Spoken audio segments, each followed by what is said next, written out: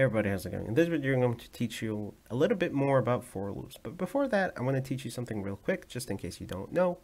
So, in, in programming, you can add a value to itself, right? So let's say you have a variable here called total, and it's equal to 10.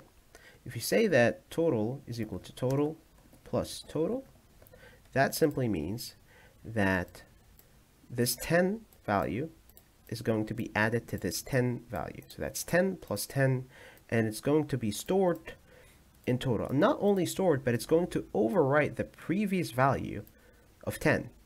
And it's going to change it into 20. So let's print this out so you can understand what I'm saying.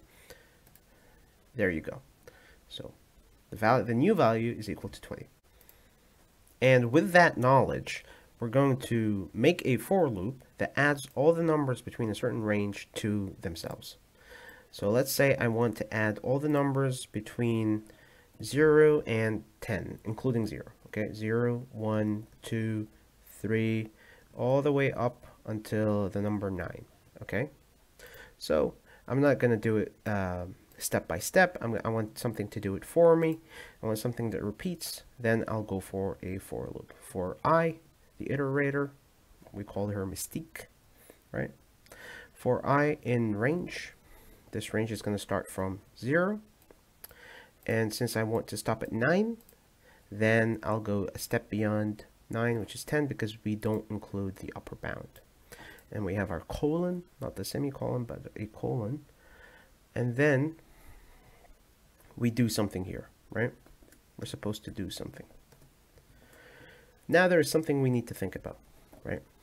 How do we add them together? Well, simply we need to add a variable like we did before called a total. And let's start at zero, right?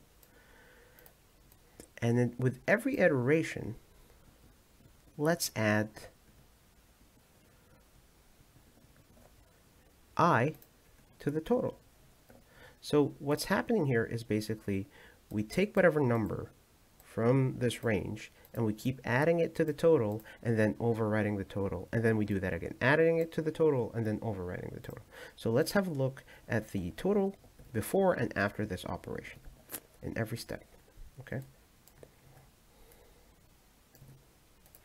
Okay let's have a like a, a separator between them so we can understand what's uh, what's going on between every loop Okay, great. So if you look on the right hand side, at the beginning it starts out with 0 and 0 because 0 plus 0 is 0. And then in the second loop, the second loop, you, you know it's the second loop when you have these lines right here.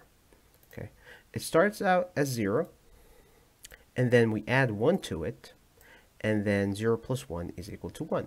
And the, and the third one, it starts out as 1 and then we add 2 to it and 1 plus 2 is equal to 3 and so on. And you go until you find that the final value is equal to 45.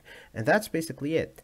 That's how you add a range of numbers of your choice using a for loop. This was an optional exercise. I hope you enjoyed it. I'll see you in the next one.